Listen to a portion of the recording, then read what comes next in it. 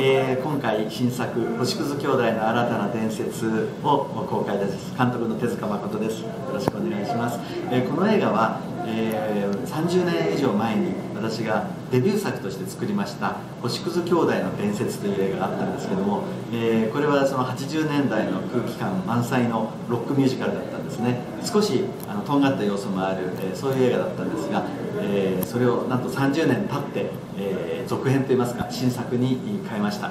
で今回の映画はあのただあの昔のものを焼き直したっていうそういうあの古めかしい映画ではないです、え、現代にふさわしいもしかしたら現代よりももうちょっと先を、え、見越したような、そんな内容のものです、え出演者もとても豪華です、え主演に、え仮面ライダーなんかに出ています。三浦亮介君武田浩平さん、えそういう2人を迎えましてそして脇役にはですね、えなんと浅野忠信さん、えそれから夏木マリさん井上順さんそしてなんと内田裕也さんも出演しています、えー、まあ、まさにロック感満載のキャスティングになってますので、えー、ミュージカルとしても楽しめますしいろんな楽しい要素が詰まった作品です、えー、見ると必ず元気になれるそんな映画ですので、えー、ぜひとも、え劇場に足を運んでいただいて見ていただきたいと思います。よろしくお願いします。